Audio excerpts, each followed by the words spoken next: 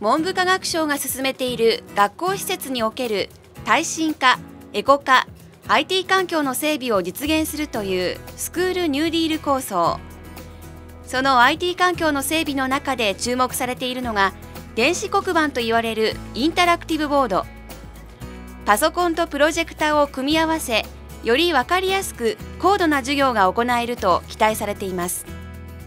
遠藤さん今回取り上げる電子黒板とはどういうものでしょうか？まあいろんなタイプがね従来からあるんですけれども、えパソコンとつないでデジタル教材を写したりできるものが出てきたと、まあ、しかも黒板というからには、まあ、書いたりね、まあ、実際にそのホワイトボードの上で字を書いたりできるところが大きな特徴ですよね、うん、オフィスで使われている高機能なホワイトボードのようなものですか、そうなんですよね。ホワイトボードというともう企業にすっかり定着していて、まあ、どんな先端企業でもホワイトボードを使ってるってことで実はすごく面白いメディアなんですけれども、はい、まあ、これがですね教育現場に活用されるようになってきたと。教育現場で活用されるようになってきたことで注目を集めてですよね、えー、実際には小学校の英語の教育も始まるということで、はい、えー、電子教材の活用に役立てようということらしいんですね、単語の書き込みとかヒアリングができるんですね。面白い授業になりそうですよねえー、UPIC とは、え、投影された画面画面のものを、え、書き込んだりもしくは操作するといったことができるものです。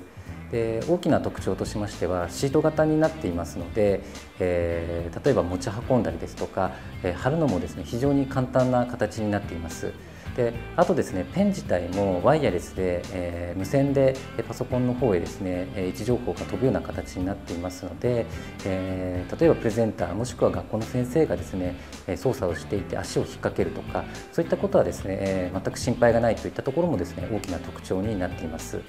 えー、あとですねそのペン自体も非常に書き味ですとかその辺りも非常に滑らかになってますのでそういった違和感のないですね操作性ができると思います。でそうですねあと価格の方もですね一般的に非常に低価格な形になっていますので非常にお求めやすくてですね導入の方もですねしやすい形になるのではないかなというふうに思います。